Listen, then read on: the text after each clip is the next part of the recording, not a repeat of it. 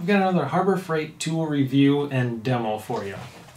This is their 29 piece titanium coated drill bit set. It's their number one selling drill bit set.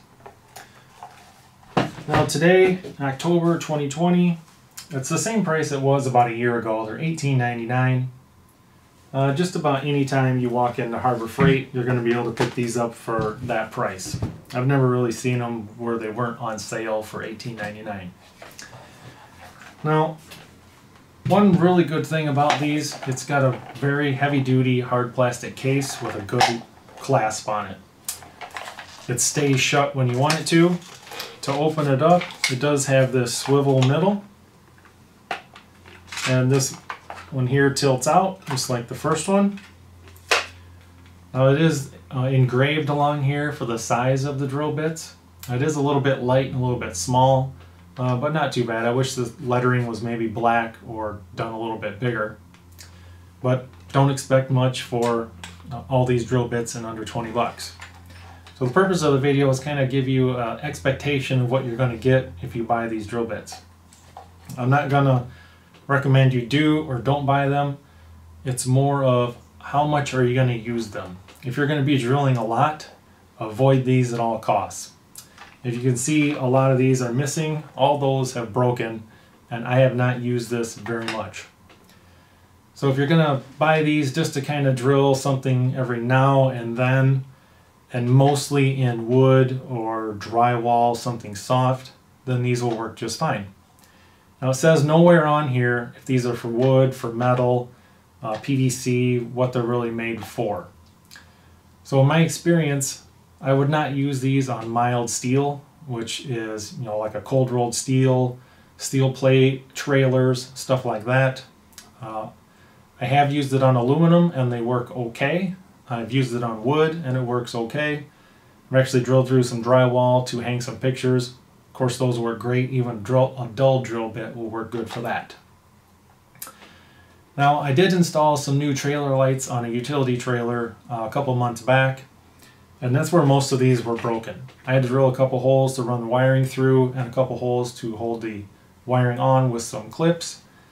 And that was about 3 16ths painted steel. Just kind of a standard uh, utility trailer. And a lot of the drill bits broke on me. I kind of started out small, worked my way big. Um, I was pretty gentle with them, uh, and they still broke anyway. Now as you can see, a lot of these have the titanium coating uh, already wore off. It doesn't stay on there very good at all. You see some wood shavings in here from when I was uh, drilling some wood.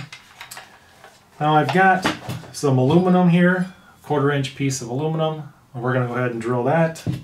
I've got a piece of solid oak 4x4. We're going to go ahead and drill that. And just kind of keep your eye on what the chips look like.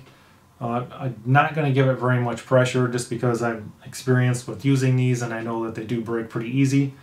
They do dull extremely fast if you're going to drill steel. Uh, if you've got to drill one or two holes in some quarter inch steel like I did with that utility trailer, expect the drill bit to be dull by the time you're done. I do have my handy Bauer Harbor Freight drill uh, with the uh, bigger size battery on it. I did do a review on this a while back. Uh, this is a great drill. So let's head out, do some drilling. All right, so I have this quarter inch aluminum. Got my drill bit all chucked up. This is a 564th. And just kind of watch the chips. A good drill bit will expel the chips out of the hole. If the chips stay in the hole, that causes a lot of heat on the drill bit. So a good drill bit will have chips coming up out of the hole and not letting them sit in there.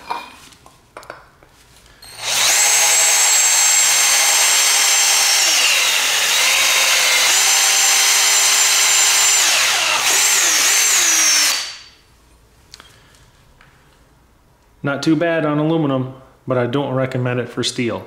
Now let's drill into that solid oak.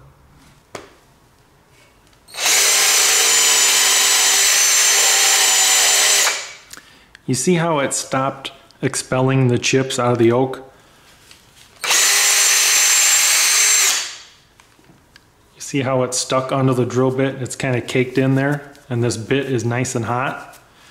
Now, in order to avoid your drill bit getting hot on drilling something thick like this, you're going to have to kind of plunge the drill bit.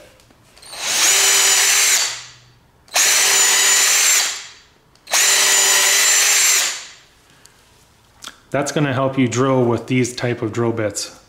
A real high quality drill bit, you'll be able to drill right through and it will keep expelling all the chips as you drill.